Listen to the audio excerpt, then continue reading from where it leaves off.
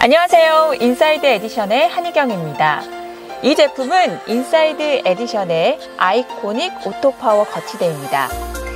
거치대 중에서 가장 작은 사이즈인 만큼 인테리어를 해치지 않고 간단하게 거치할 수 있습니다.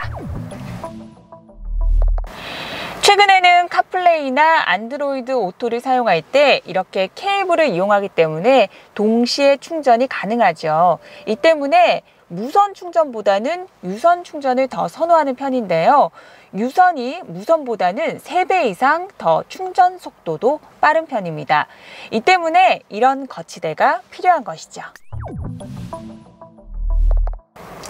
네, 인사이드 에디션은 거치대를 개발하기에 앞서 가장 중요하게 생각하는 부분이 바로 노이즈를 최소화시키는 것입니다.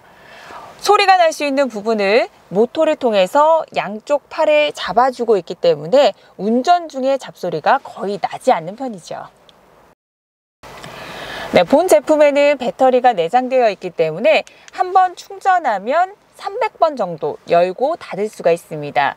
하루에 10번 정도만 열고 닫는다고 해도 한 달 정도는 거뜬하게 사용할 수 있는 것이죠. 또한 예, 이렇게 LED를 통해서 충전량을 확인할 수가 있습니다. 네, 이 제품은 인사이드 에디션의 트루파워 시리즈를 이용하면 더욱더 빠르게 스마트폰을 충전할 수 있습니다. 네, 이 제품도 인사이드 에디션의 디자이너들이 직접 각인 서비스를 제공합니다. 지금까지 인사이드 에디션의 아이코닉 오토파워 거치대에 대해서 소개해드렸습니다.